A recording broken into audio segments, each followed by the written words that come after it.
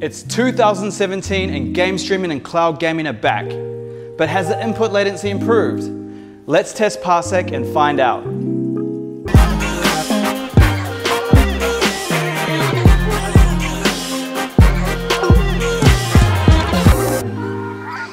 Hey guys, my name is James and I'm the Technical Community Manager here at Parsec. And today we're gonna put Parsec's protocol to the test by measuring its input latency over the internet. So when you think of traditional game streaming services like OnLive or PlayStation Now, you probably think, well, the idea is pretty cool, but the input latency makes it unusable. We knew there had to be a better way, so we set out to see what we could do to revolutionize the experience. And after a year and a half of building a new streaming protocol from the ground up, Parsec was born. So what makes Parsec different?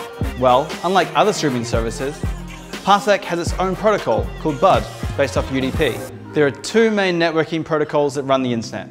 One's TCP and the other's UDP. TCP is perfect for stuff like online banking and data transfer because every time you send a message, the receiver replies back with a note to say, hey, I've got everything, everything's in order, it all checks out.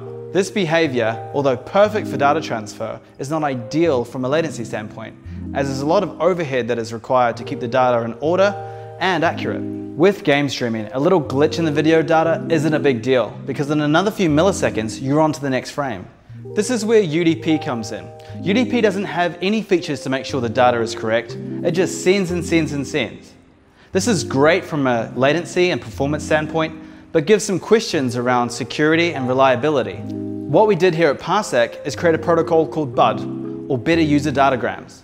What this does is takes the best of UDP and adds security via DTLS 1.2 and a reliability feature called Fast Retransmit, which only cares about data that matters. So this is how we're going to test Parsec's input latency. I've got a gaming rig at home running a GTX 1070 and it's hardwired into the internet.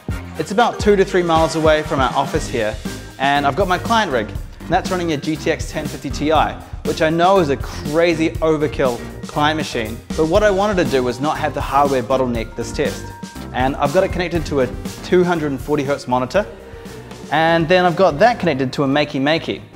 And what the Makey Makey allows us to do is we can press a couple wires together and it's gonna generate a little LED flash. And when that LED lights up, it's gonna send a click signal to the client machine. That click signal is gonna transfer over the internet to my host machine and trigger a fire and the animation will run, and then the video will come back to the client machine. We're gonna use a 1000 FPS camera to find out how many frames transpire between LED lighting up and that animation appearing on the client rig. So before we start testing, it's important to establish a baseline. So earlier today at home, I plugged my Makey Makey in directly into the host rig, and I recorded it with my 1000 FPS camera. Over a series of 30 tests, there was an average of 20 milliseconds latency directly connected to the host.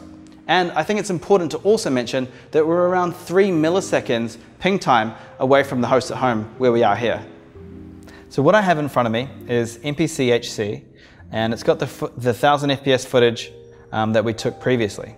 As you can see, the Makey Makey's on the bottom left there, and I've got the monitor, and I've got an Excel spreadsheet open with all the data. So I've already taken all the data down, but I thought I'd just show you what's going on. So um, when I press Control and the right arrow key, I can um, go forward through the video frame by frame. So what I'm going to do is I'm going to press control and the right arrow until I get to the green. All right. So what it did is it skipped ahead a little bit there, but what we're going to do is we're going to jump back and we're going to find out where it came, uh, when that green LED came on. So it was about there. All right. So we're going to start counting. So that was 1, 2, 3, 4, 5, 6, 7, 8, 9, 10, 11, 12, 13, 14, 15, 16, 17, 18, 19, 20, 21, 22, 23, 24, 25, 26, 27 and you see that there's a small change there at the top of the frame at 27 milliseconds. So I'm going to call it, I'm going to say that this frame took 27 milliseconds for that light to be emitted before the um, first animation frame appeared on the client machine. So I'm going to record that data down and I'm going to do this. I'm going to keep going through all these videos and record all this data.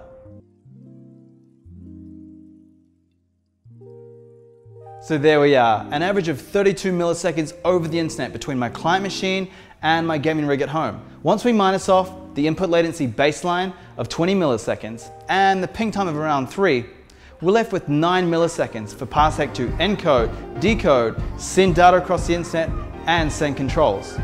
The next time you hear someone complain that cloud gaming or game streaming has too much input lag, tell them about Parsec, or better yet, send them to our website parsec.tv, where they can download and sign up to our app for free. If you'd like to join our Discord community, the link's in the video description below. If you'd like to support more content like this, please like and subscribe. And until next time, peace out.